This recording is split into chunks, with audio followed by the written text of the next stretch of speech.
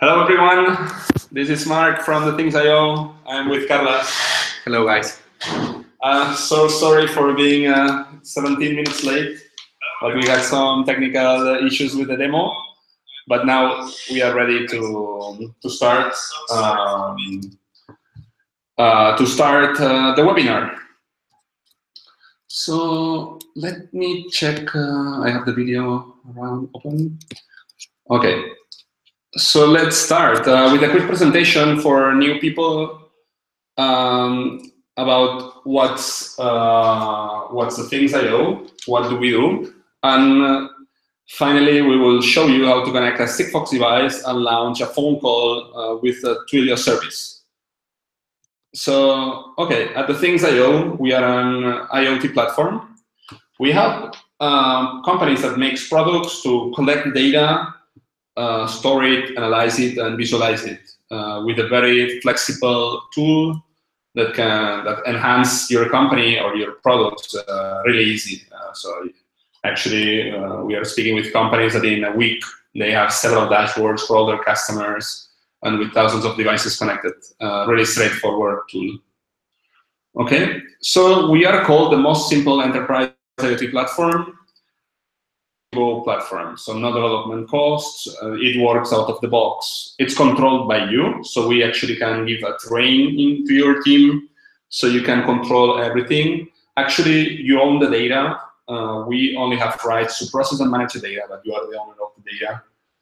And um, finally, we have a, a, support team dedicated to give you support. So um, um, that's what, what we can do for you. So how it works we connect your devices through our secure cloud solution.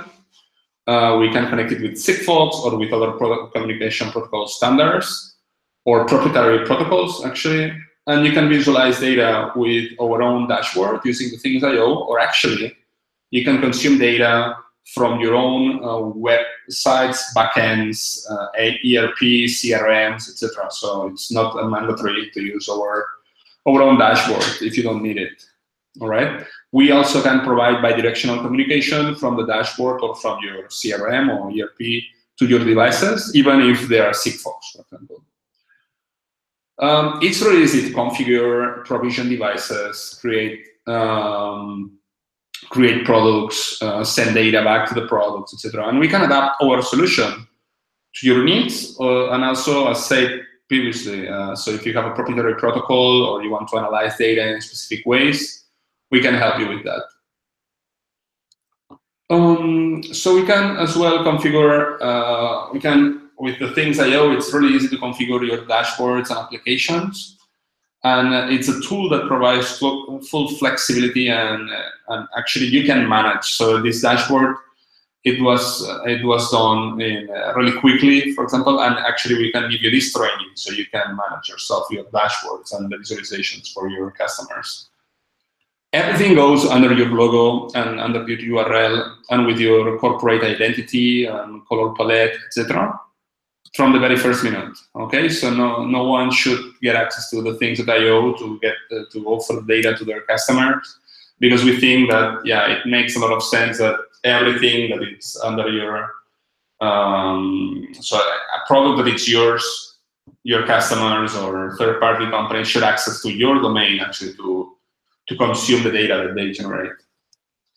And finally, we have a, a really um, interesting tool to analyze your data. Okay, uh, we this is one of the tools that we are going to focus today on the demo.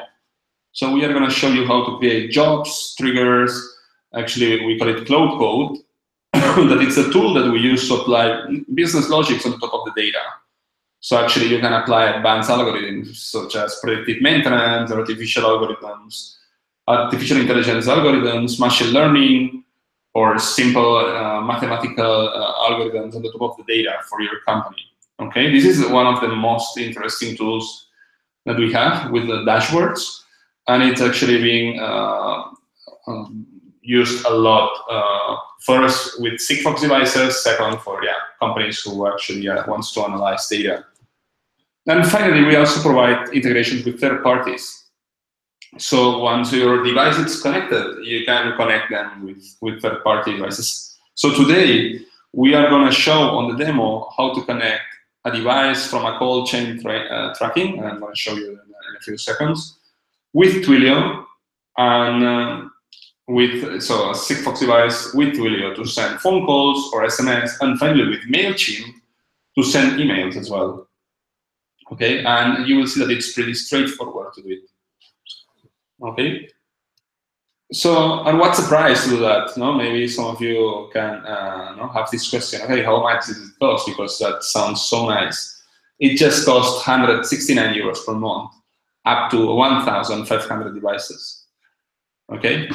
Uh, yeah, that's that's so easy. So you can actually go to the things oh and sign up and create an account, right, Carlos? Right. That's true. That's right. All right. So reasons why we rock. So actually, we have here projects to scale really easy, going from the prototyping phase to yeah to uh, to production or industrialization phase. We reduce this time to market. This is in five minutes we can have everything working, and we have a flexible pricing adapted to, to your use cases. Okay, so what, what we are gonna do today? So we are gonna play with uh, with our newest uh, device on the Things.io. So since a few days ago, we have our first product on the website, but it's a cold chain tracker. So we can track and monitorize with a Sigfox device um, um, assets that are moving around yeah, the world and actually understanding in real time what's their temperature, humidity, state of the battery and light and uh, setting up notifications and alarms, right? This is a device that we that we provide nowadays, so it uh, can track temperature from minus 20 degrees uh, Celsius to plus 40, uh, 54. The dimensions are 7 centimeters, almost 8 centimeters by 4 by 2. It's easy installation, can be several ways to install it uh, with this box. It's um, it's up to three years of battery life in the normal conditions. It brings Sigfox connectivity with the Spot-it or geolocalization services now. And sorry, it can have a Wi-Fi reader optional or a GPS reader in case that it makes sense to have GPS. In this case, usually the, the most uh, interesting product right now, it's, it's uh, it's a cold chain tracker, a tracker with no GPS, with no Wi-Fi at the moment, just with the Sigfox geolocation connectivity. All right. So what's what's about today's webinar? So we are gonna emulate uh, one uh, track that it's uh, moving around Barcelona, right? So the goal is to do it with our own uh, product, but what we are gonna do because uh, in this case you uh, you are gonna be able to reproduce it in your houses. It's to use a PyCom, right? A PyCom is a um, a board made by yeah by PyCom uh, with Sigfox and Wi-Fi that it's really easy to program, etc. We connected to the things.io. We are gonna uh, publish this code into our GitHub account, and and to to make sure that you can reproduce it at your uh, in your places if you have a PyCom.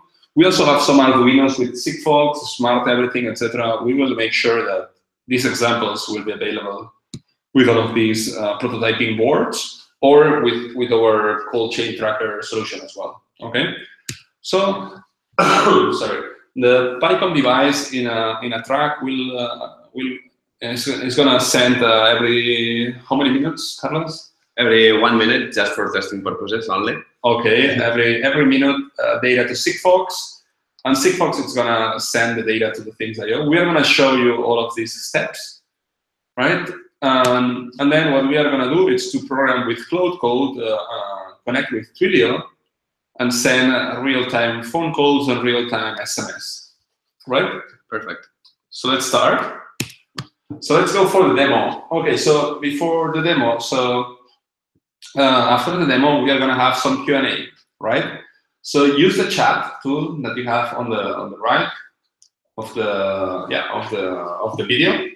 Feel free to start uh, making questions now after the after the demo. we are gonna do this Q&A session, answering all your questions uh, that you can have on the live chat, right?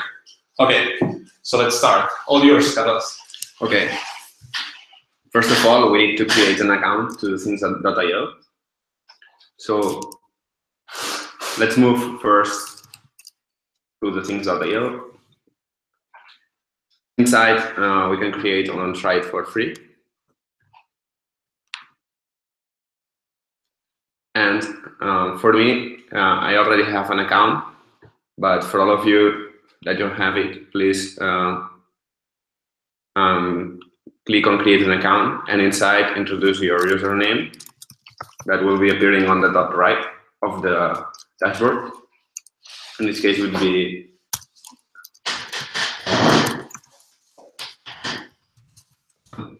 I'm going to introduce my email and also my password. Agree the terms of and privacy policy, and also make sure that you that you check I'm not a robot.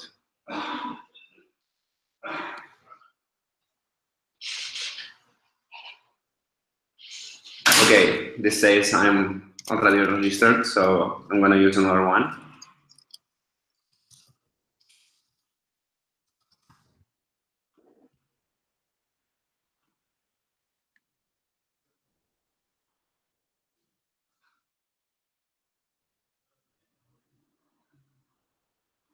Okay. So once uh, we, we are in, please make sure uh, we use the form in order to give response to you in the shortest time possible.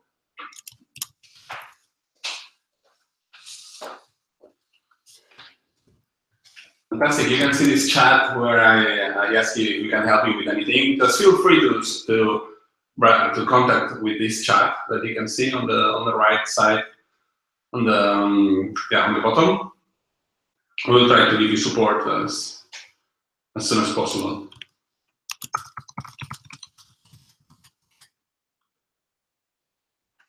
Okay, once we're in, uh, we are going to create a Sigfox product. In this case, as we are using a, a cold chain tracker, we're going to create a product called this way. So let's create a new product. And it will be cold chain devices. Inside that product, make sure uh, you use Akedo slash smart everything as the board. So as you can see here, uh, the format, it will get changed to Sigfox. Okay, that's right. Once we have created the product, please make sure you enter the product and copy the subscription URL for that product. This subscription URL, it will be the URL used in the callback creation at the backend of Sigfox. So let's move to the Sigfox backend.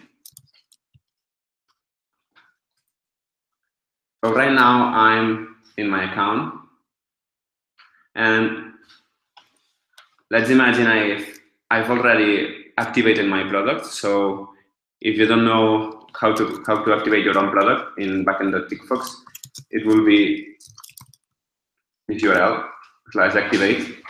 And once you follow this process for your own device and later on for your own uh, country, providing providing cellular and Sigfox uh, communications, you will make sure that um, you edit the device type for your device in order to have the callbacks redirected to the things that things.io. In this case, we are using a PyCom device already registered. So let's create a new callback that will uh, send the data to the things.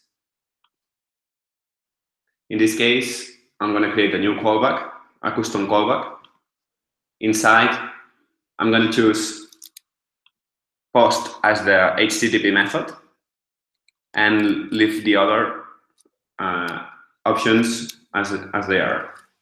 So for the URL pattern, make sure you copy the previous subscription URL that you have here and paste it. Well, oops, excuse me. Okay. So make sure you copy the subscription URL from your product and paste it inside the URL pattern. Okay.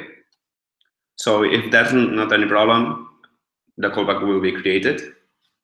And now uh, we can move to the Sigfox parser code for the device.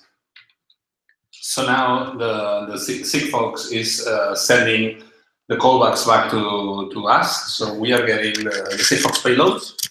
Okay. And now it's time to, um, every time that we get these payloads, to understand what all these 12 bytes from Sigfox means.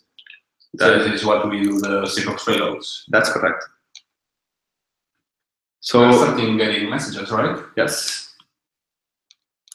So let's take a look about which devices are being sent.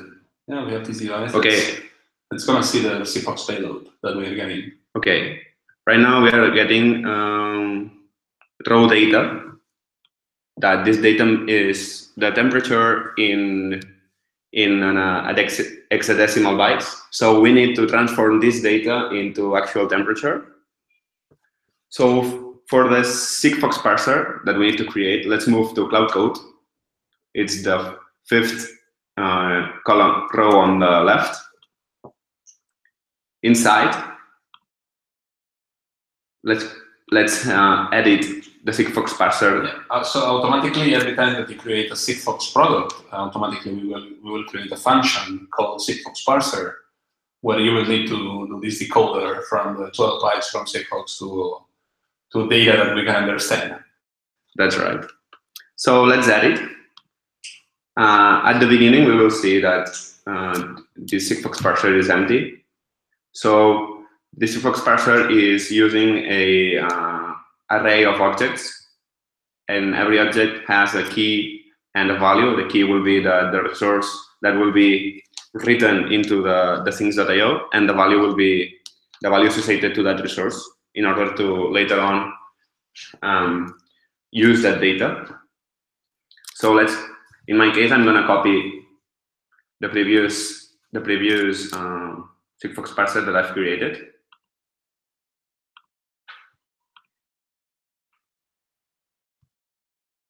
Okay.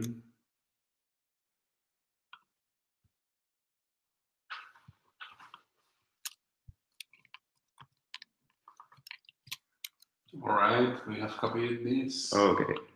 So I'm gonna paste this.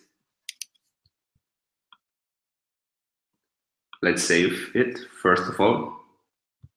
So let me tell you real quick what did what this code does. So this code is um, giving us first of all decoding the temperature and later on um, is uh, evaluating if the temperature is uh, beyond is above is um, above of below the uh, certain threshold. In this case, I assume that the threshold is 30, but we can change that to uh, to a better value if needed. We decode the the Sigfox payload here, so we, we do the calculations, no? That's correct. We decode it here. We have the threshold defined to 30 degrees. Probably we are yeah hotter in this room than 30 degrees at this point. I'm sure about it. and here, once we have all the temperature done, we compare the current temperature with the, with the threshold, right? Mm -hmm. That's right. So maybe we, we can start uh, having only this data. So let's delete this part. What do you think? Okay. Um, yeah, this. Mm -hmm. Let's see. Yeah, delete these else, right? Correct. That should be all. That should work. Perfect. So if we go back to, to things, the device, we have temperature now. We have last time it was 27, 27 around 62 degrees. We can try it have here real time data. So uh, in a minute we will have um, the next value. So in this really quick way, yeah, maybe you can do a quick uh, dashboard, uh, no, quick widget to visualize the data. What do you think? Sure. Meanwhile, we get the next uh, value in the next meal.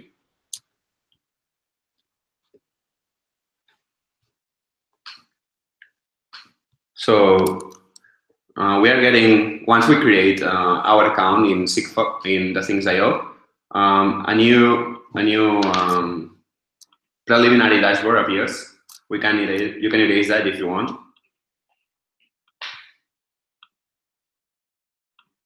And let us start with a new fresh widget. It will be called uh, temperature flux graph, let's say. And inside, uh, make sure if you are using a, a thing, make sure you click on thing resource. But let's make a product uh, chart. What do you think? Okay, that's fine also. So with the product chart, actually, you can visualize all the, let's imagine that, yeah, in this case, we only have one PyCom, but let's imagine that we have, yeah, thousand or uh, dozens. So with the product uh, widget, we can visualize all of these dozens devices connected, sending data at the same time in the same chart. So with the thing resource chart, as Carlos wanted to do, we already can see one. Well, we will see one anyway, but yeah, let's, let's do it uh, with a yeah, line chart. It's fine, real time, customize it. Well, let's have, yeah, 100 values. Temperature.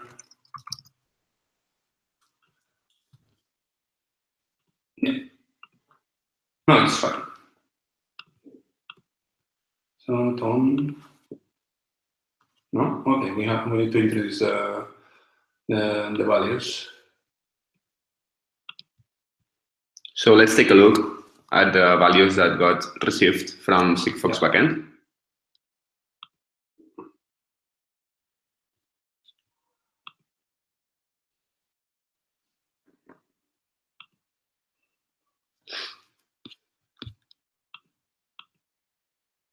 So you have these temperatures, it's getting high. Fantastic. It seems that it works. Yes. Right? So let's start uh, making this phone call happen. Okay. What do you think? Let's go. So usually let's maybe explain um, Cloud Code a little bit. Um, just just remember triggers are algorithms executed in real time. Every time that we get data, uh, triggers are getting executed. We give here two seconds of computation. This is a place actually to do phone calls, SMS, uh, emails because it's a real-time uh, place. So algorithms that are getting launched.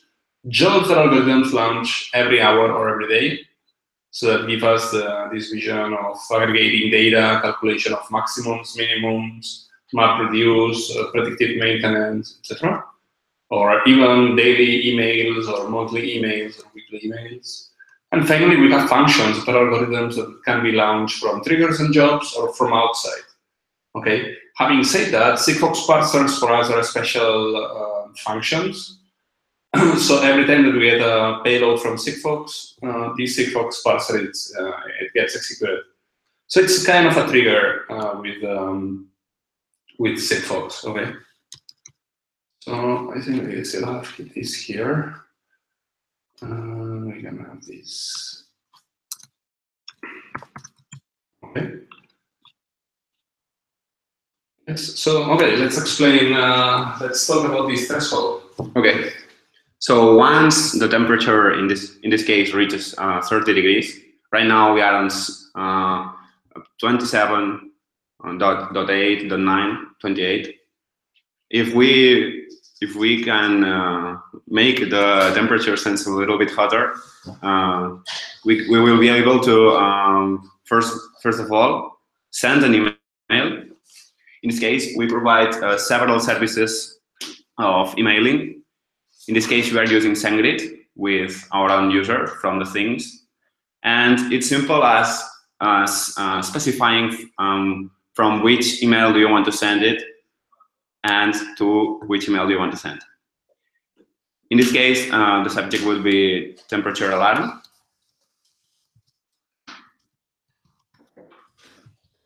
And the message will be alarm temperature above threshold. In this case, threshold will be 30. And the temperature that actually is being received from the Sigfox device. Also, we have two, two more steps. The first one is the Twilio service in order to make um, the send an SMS to your phone or actually to make a phone call from to your phone again using uh, using the service. So the easiest way here is just to register at Twilio or at SendGrid or MailChimp and actually provide your tokens uh, to the things and actually you can pay uh, yeah, the bills from your SMS or phone calls, etc. This is the easiest way. Okay, and here we have two examples, right? Correct. So the first one, um, let's try if you want uh, the SMS. Yeah, exactly. So in, in this commented um, uh, part of code, we have uh, the example how to send um, a message, an SMS. Okay, and in the second part of code, we have the way to do a phone call. Actually, the telephone number can be embedded into the into the user settings or the device settings, etc. Exactly. And yeah, and then uh, because we use uh, Twilio, there is a specific way to define uh, what's the message or the voice that you want to get, uh, that you want to listen from a phone call. So yeah, in this case, we set up a Heroku machine with this XML, with TWI that uh, it's needed, uh, that it's defined here. So you can define your own uh, message uh, actually to to get um, to get back from from Twilio. All right. So let's um, let's try to, to use it. What what's the telephone number that we are gonna that we are gonna call? My phone, actually. Yeah, this, okay. So girls uh, from from the wall. Is this uh, Carlos' phone? so it's it's your phone uh, ready to get data? Yes, sure. So let me save. Um, let me save. Yeah. So maybe put it on tone. Um, so let's, uh, I don't see here any data. Okay, so we already have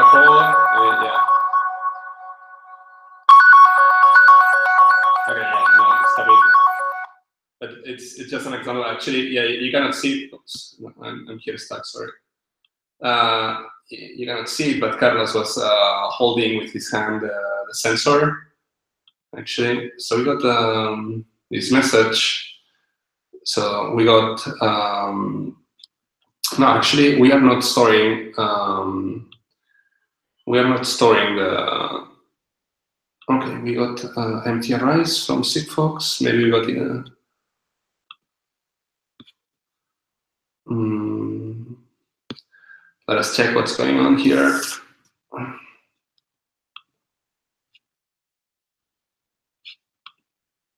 So,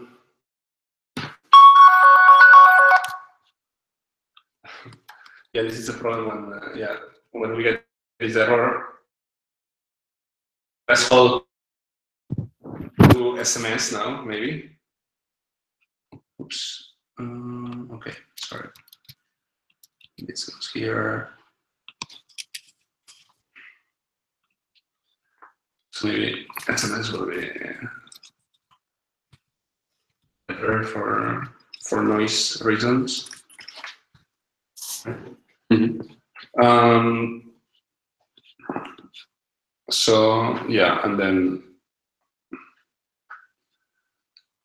all right. So now let me yeah let me check in, in real time what is happening here. I wanted to have here, uh, yeah, let's go to, as Carlos said, to the thing resource, chain.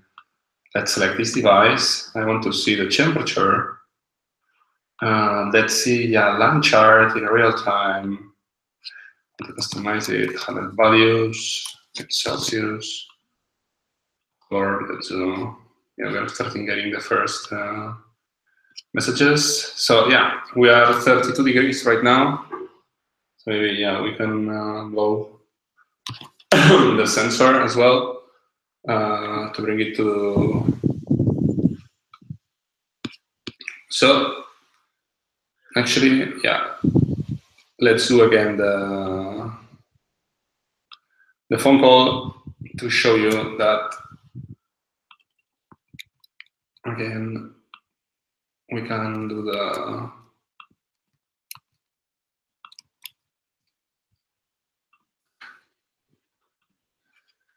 all right. So we are still 30 something in the next message. We will get the we hope that we will get the phone call. Um, and actually it's uh, as you see it's it's really straightforward. It was like what 10 minutes going from nothing to having a PyCom or a cold chain tracker connected, sending data uh, to the things, uh, and setting up a, a yeah phone call uh, or notification. It's pretty straightforward. So um, yeah, this is how how thethings.iO works. Mm, what else? What are we missing? Carlos? Anything else? I think we're, yeah, we're fine. So I think we are just missing the, the phone call from yeah from Sigfox.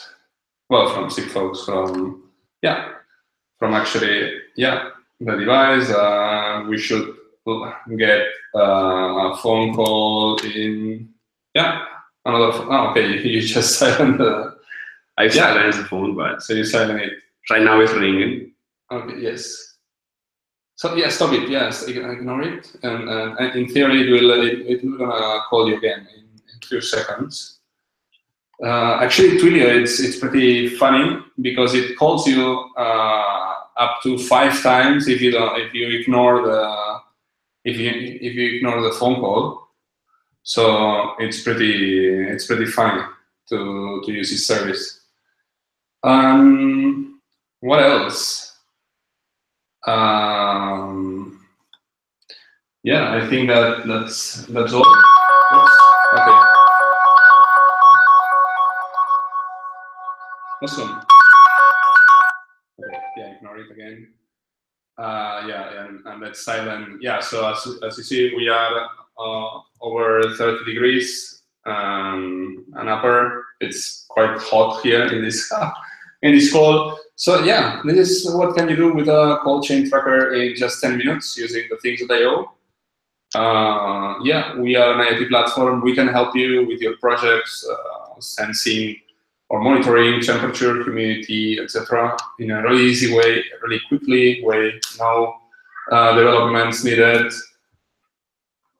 No, no, no, no special uh, requirements. So it, it, it works out of the box. Um, yeah, and that's what we do. So now it's time for Q&A, I guess. Uh, let's, uh, yeah, you silent. Uh, yeah, maybe let's stop the don't, we don't get any, any message. So time for Q&A. Um, feel free to write your questions um, of, um, yeah, on the, on the chat tool. We will be here about 10 minutes uh, reading your uh, your requests or your answer, or, yeah, your questions, comments, feedback. But yeah, as I said, uh, yeah, we can integrate at this point Twilio, Twitter, Mailchimp, SendGrid. Uh, what else? Um, SAS from Amazon, actually. Exactly, um, Amazon. Um, we can integrate as well. Um, yeah, chatbots. We are doing stuff with chatbots, Azure ML for machine learning. Mm, yeah, so CartoDB, for example, it's also integrated with APIs from from our Cloud Code. Um, so yeah, you can do a lot of integration with third-party services, actually, with um, with the things uh, automatically, as you have seen. So it's pretty straightforward. The code will be available on GitHub. Um, and what else? Um, I think very good. Indeed. Any questions? Yeah, so we're waiting for your questions. If there are no questions, uh, yeah, if there are no questions in the next couple of minutes, uh, yeah, we are going to do the next uh, webinar in um, in the next uh, in the next three four weeks. Uh, we are going to talk. Yeah, we are still thinking about what we are going to talk. Probably, I don't know, if bidirectional communication with Sigfox or about the new geolocation services, or yeah, it's we are still uh, thinking about that. Um, here you have my contact details in case that you want to contact me for any project or any question or any anything that we, you think that we can help you. And if you don't have any question uh, by chat, mm, yeah, we we are going to leave you here, guys. It was a pleasure to share again with you a webinar, Carlos. That's right. Uh, let's stay connected. I'm looking forward to work with you guys. Thank you. Have a good day. Bye bye.